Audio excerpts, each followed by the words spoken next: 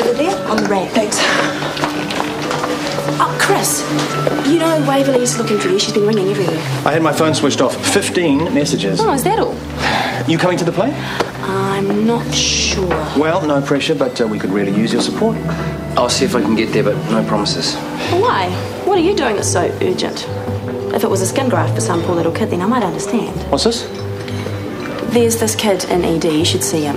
Little Samoan boy's nine years old. He's got a port wine birthmark over half his face, and it's really badly grafted. He gets picked on all the time, apparently, and the graft needs redoing, but no, he's not a priority. Well, you know where to find me if you need me. Okay, let's go. We'll see you there. Break a leg. Just don't expect to get it treated anytime soon. That wasn't a dig at you. ED's mad. And here I was thinking it'd be a nice quiet place to pass the day. I thought you'd be with your family. Long story.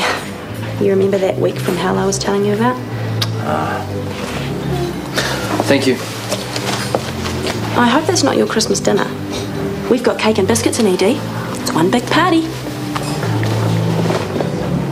It's really happening, eh? I'm getting married. Let's make a run for it. Out the back way, across the park, hitch a ride. Don't put ideas in his head.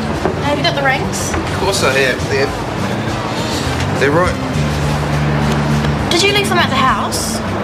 Yeah, Mum probably hid them somewhere. I definitely had them when we left. Well, so you must have lost them on the way here. Bet they're in the car. This is no time to rely on boy looking. You chill, alright? Hey, me. Do you believe in jinxes? Your wedding is not jinxed. Nick is just stupid.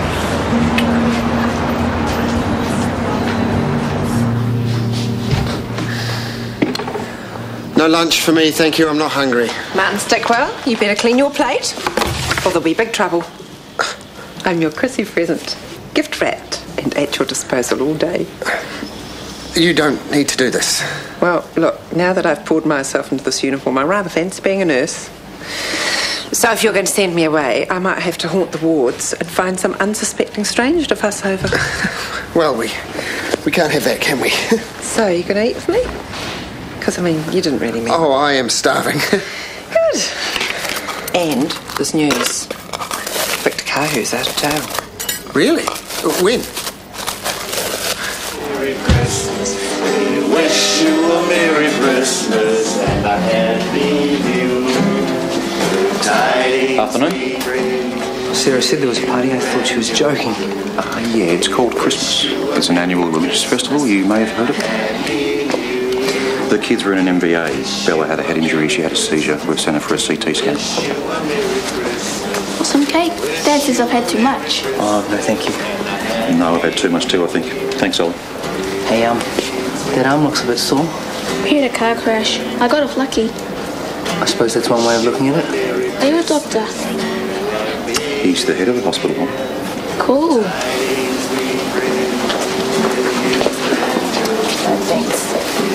Wish you a Merry Christmas and a Happy New Where's Sarah? Uh, she won't be far away. I'll tell her that you were looking for her. Wish you a Merry Christmas. Wish you a Merry Christmas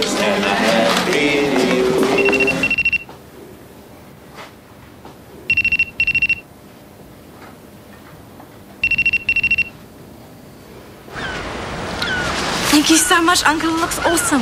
Well, Donna did all the girly stuff. Don't credit me with that. You're a big macho thing. Good early, am I? Hi. Hi. Not at all. No my height and my bro. Kia ora, son. Yummy.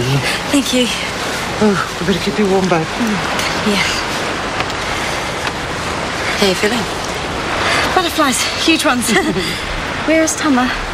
He'll be on his way. Maybe we should call him. Just relax, you. I can't. Not until he's down here on this beach and has taken my hand. Then I'll be all right. Just a few more minutes, that's all.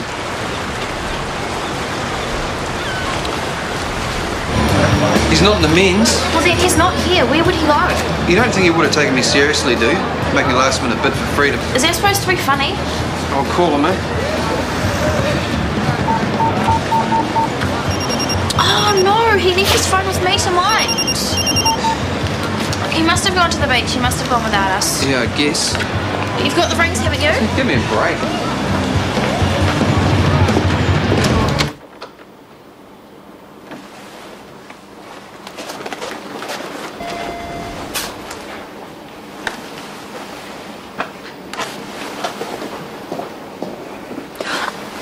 Uh, hi.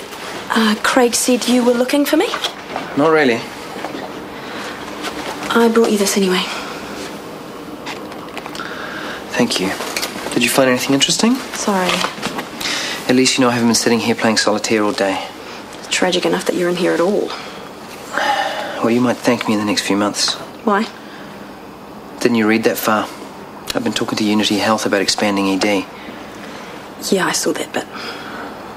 I haven't told Craig yet. Don't tell him. Oh, you meanie. It's just the sort of Christmas present he'd love. Well, I have to get the DHB on side before I can start making any promises. Do you ever stop working? Well, if I can get this done now, then I can give myself a holiday. I'm not coming anywhere near the place for the next two weeks. I believe that when I see it. Yeah, unless the DHB snaps their fingers.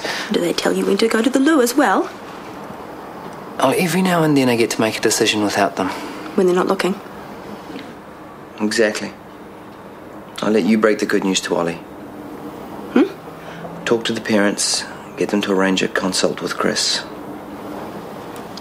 Okay, I'm um, sure. On one condition no media coverage. This one's for the boy, not for the PR machine.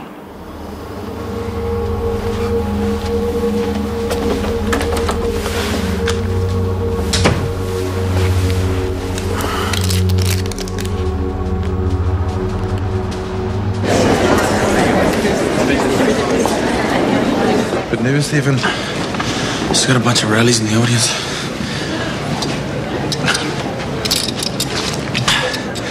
Touch courage. You're a demon. You're on first. Come on, we go. Get to position. We're Scrooge. Right, here we go.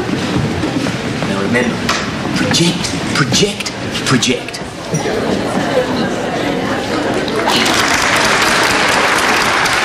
Hi, everyone, and uh, welcome to Shortland Street Hospital's performance of A Christmas Carol. Uh, written by Charles Dickens, adapted by me, Waverley, and tweaked by Chris Warner. Uh, oh, and the money's going to a good cause. It's a special trust for sick children and their families. We hope you enjoy it. Thank you.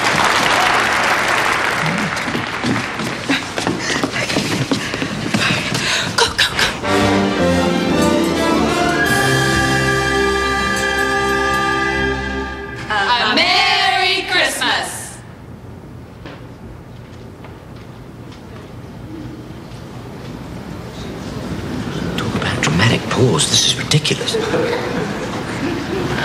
Dr. Marshall, what's wrong? It's all right. It's just a stage fright. Don't panic. Again, say it again. A Merry Christmas! Oh, he's completely lost it. This is all your fault. If we'd been here on time, you would have.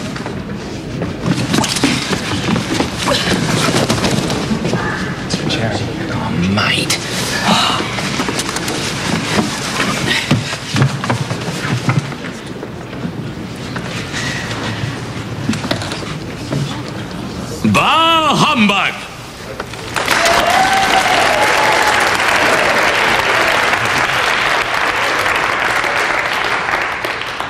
Oh.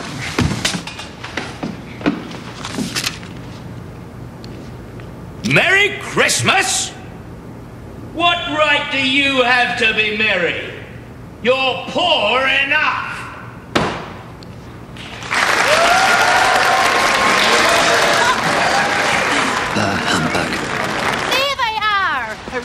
Me. Is that Tama? Can you see him? Don't know, it might be. The rings. Have you been careful of the rings? You can stop asking me that. They're right here. Oh, oh. They must have bounced out of my pocket. Oh no, no way! Oh, you idiot!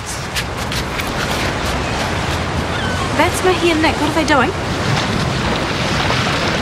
I don't know. Any sign of the groom? Still no answer at home. No, there's something wrong. Hey, you just can't. If there wasn't, then he'd be here.